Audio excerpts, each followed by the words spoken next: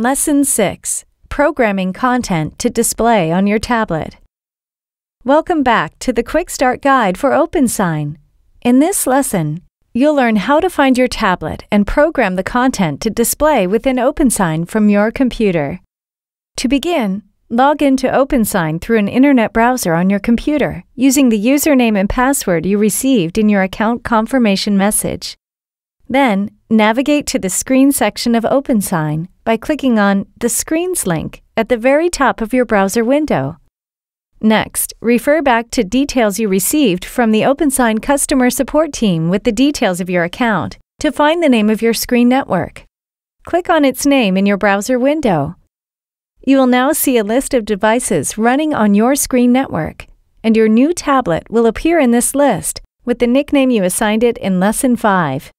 If you need to find the registration details for your screen network, you can find this information by clicking the button near the top called How Do I Register a Screen? A lightbox will be displayed with your screen network's email address and password. This information is entered when setting up a new tablet.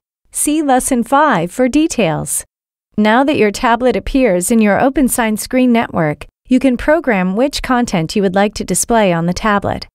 Start by clicking once on the name of your tablet and then click the Schedule button near the bottom of your browser window. A gray dialog box will appear over your screen, allowing you to create a new program for your tablet or to use an existing program. Click New and you'll now see seven fields in the dialog box. In the first two text fields, type in a name and description for your new program. The third, fourth, and fifth fields are all drop down menus. To choose your content, select the name of your site in the third field. Select the name of the page that should display by default in the fourth field, and the orientation of your tablet in the fifth field. In the sixth field, you can set the number of seconds you'd like the tablet to wait after a customer has touched the screen before timing out and returning to the default page that you selected above. And in the seventh field, you can decide whether the tablet should download its content to display or stream it from the internet every time it's used. Unless you're instructed otherwise, check this option so the tablet downloads your content and plays it locally. Click the blue Save button at the bottom of the dialog box to save your new program, and then click the white X at the top right corner of the dialog box to return to your screen network page. Your tablet can now download and display your programmed content.